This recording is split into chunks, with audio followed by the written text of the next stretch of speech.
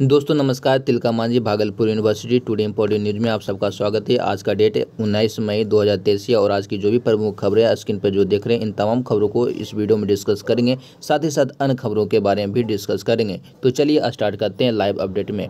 तो यहाँ पर जो मैंशन किया गया है बी से रिलेटेड मैं सर्वप्रथम आपको अपडेट देने वाला हूँ। और यहाँ पर कहा जा रहा है कि बी परीक्षा की तिथि बढ़ाने के लिए मांग यहाँ पर उठाया जा रहा है। यहाँ पर आपको मैं बताने का प्रयास करूँगा कि तेईस मई से बी परीक्षा प्रथम वर्ष की, यानी कि फ़र्स्ट ईयर की परीक्षा की डेट को अनाउंसमेंट कर दिया गया। अगले ही दिन गुरुवार को छात्रों ने विश्वविद्यालय पहुँच, पहुँचे और परीक्षा की तिथि बढ़ाने को लेकर के मांग उठा रहे। हैं विश्वविद्यालय पहुँचने पर प्रशासनिक भवन का गेट जो है, बंद कर दिया गया। यह सोचकर कि स्टूडेंट आंदोलन करने तो नहीं आ रहे हैं।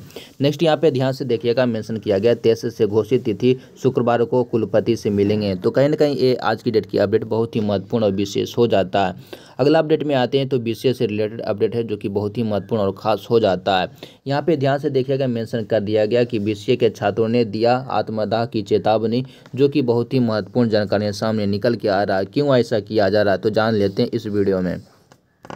दोस्तों, यहाँ पे ध्यान से देखिएगा, मेंशन किया गया बीसीए के प्रमोट स्टूडेंट जो स्टूडेंट प्रमोट हुए हैं, उनके लिए कहा जा रहा है कि बाईस मई को प्रशासन भवन के सामने सामूहिक आत्मदाह का आवेदन जो है, प्रोक्टर कार्यालय में दिया गया है। तो ये जो खबरें हैं, ये भी बहुत ही महत्वपूर्ण हो जाते हैं। और आवेदन जो है, ध्यान से देखिएगा, आवेदन में कहा गया कि विशेष सेमेस्टर सिक्स है, यानी कि जिसको लेकर के विवाद चल रहा है। इसकी नियमित छात्र हैं और सेमेस्टर चार में प्रमोट छात्रों को परीक्षा फॉर्म के लिए अलाउ किया जाए और वो परीक्षा फॉर्म को भर सके। नहीं तो फिर आत्मदाह के लिए उन्होंने चेतावनी दिया और लेटर भी प्रोक्टर को ऑफ़िस में सबमिट कर दिए। सेमेस्टर छः की परीक्षा फॉर्म भरने के लिए मौका दिए जाए, इसको लेकर के बार बार स्टूडेंटों ने मांग उठाया है। विश्वविद्यालय प्रशासन से और विश्वविद्यालय प्रशासन भी इस पर ध्यान नहीं दिया, इसीलिए ध्यान को आकर्षित करने के लिए आत्मदाह की चेतावनी दिए गए हैं।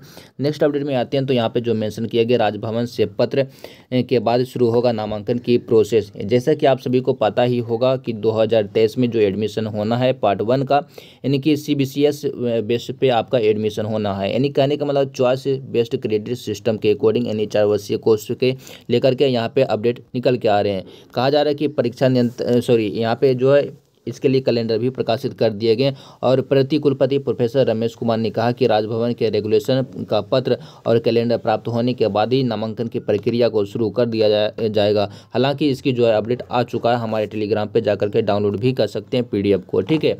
लगभग सात लगभग बीस से सत्ताईस पेज का पीडीएफ होगा। और उसमें सारी डिटेल्स मेंशन कर दिए गए ठीक है? नेक्स्ट यहाँ पे मेंशन किया गया प्राश्रमिक भुगतान का दिया गया आदेश तो ये भी खबरें बहुत ही महत्वपूर्ण हो जाता किन्हें दिया गया। तो तिलका मांझी भागलपुरी विश्वविद्यालय के कुलपति ने कॉपी मूल्यांकन करने वाले परीक्षकों के करीब 40 लाख से अधिक राशि भुगतान करने के लिए आदेश दे दिया। इस खुशी में सभी लोग खुशी का माहौल उनके यहाँ पे है। ठीक है, सभी शिक्षक लोगों में। नेक्स्ट अपडेट में आते हैं तो यहाँ पे जो जानकारियाँ सामने निकल के आ रहा है, कहा जा रहा है कि राजभवन का पत्र आने पर नामांकन की प्रक्रियाएँ शुरू होगा ऑनर सब्सिडी खत्म और ऑनलाइन सिस्टम बदलेगा। तो ये भी आज की डेट की अपडेट बहुत ही महत्वपूर्ण और ख़ास हो जाता है। यहीं पे कहीं ना कहीं कुछ और भी चीज़ें यहाँ पे मेंशन किए गए हैं। कहा जा रहा है कि अपने सिस्टम में विषय के पुराने विकल्प हटाने और नए जोड़े जाने के यहाँ पे अपडेट आ रहा है सामने। ठीक है, अब हम बात कर लेते हैं, थोड़ा सा इसे मैं जूम करने का प्रयास करूँगा और यहाँ पे कहा जा रहा अब हो गया कोर्स सब्जेक्ट तो ये भी अपडेट बहुत ही महत्वपूर्ण हो जाता है कोर्स सब्जेक्ट में सेमेस्टर में। अब तक छात्र छात्राएँ जो है ऑनर्स पेपर या सब्सिडी के नाम पर विषयों का चयन किया करते थे।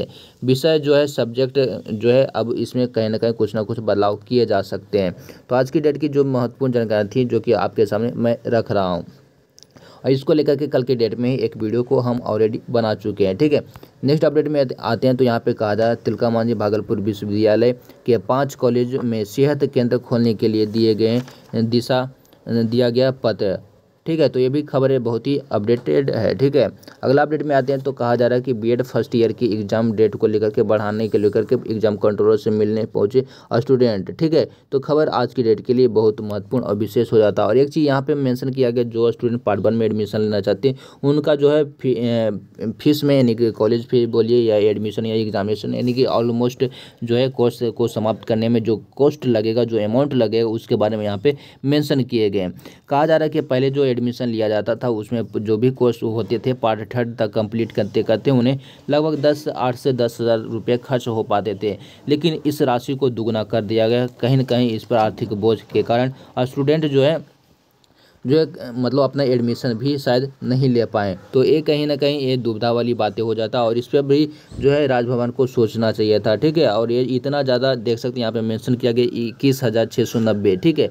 तो यहाँ पे तो इक्कीस हज़ार छः सौ नब्बे मैंसन किया गया, लेकिन जब भी प्राइवेट कॉलेज में आप जाइएगा तो कम से कम पंद्रह हज़ार, बीस हज़ार का तो फासला हो ही जाता है, यानी लगभग चालीस हज़ार आसपास में बजट ही जाएगा, ठीक है? तो कहीं ना कहीं ये जो जो शुल्क जो निर्धारित किया गया स्टूडेंटों के लिए थोड़ा बहुत ही मुश्किल होने वाला है।